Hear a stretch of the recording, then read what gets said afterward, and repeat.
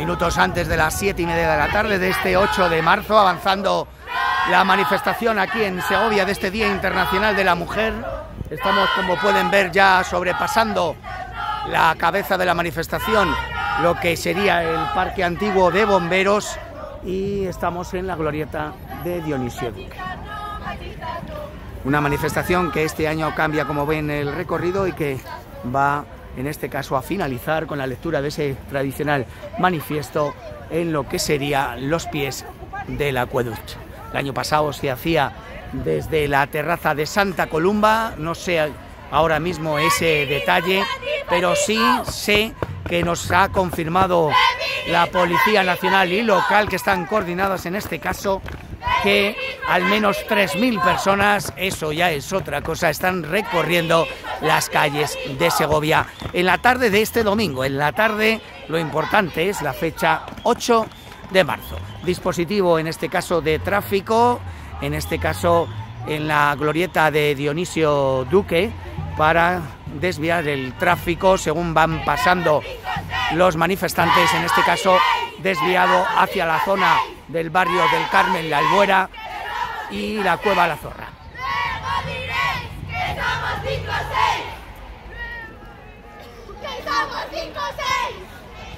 Pues ni cinco ni seis, tres mil al menos la cifra que nos ha facilitado oficialmente la Policía Nacional y veremos al final en qué queda cuando lleguemos a los pies del acueducto. Ya es muy complicado, ya ven que se ha hecho de noche, están los cielos parcialmente encapotados.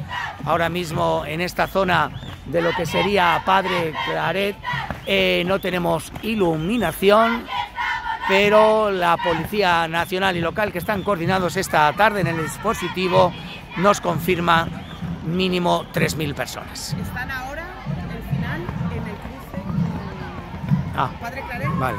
Está el final de la manifestación ahora mismo, según nos dicen fuentes de la organización, saliendo y terminando Coronel Resal a la altura del kiosco de prensa y por lo tanto 3.000 personas incluso ya me parecen pocas, pero es una cifra ya oficial la que nos ha facilitado la policía local. Hay que ver cuando estemos en la plaza del Azovejo esa magnitud de la cita de hoy domingo. Les decía, hay distintos acontecimientos en la ciudad, conciertos, el partido de fútbol y por lo tanto se ha ido incorporando gente de acuerdo a, han ido terminando dichos acontecimientos.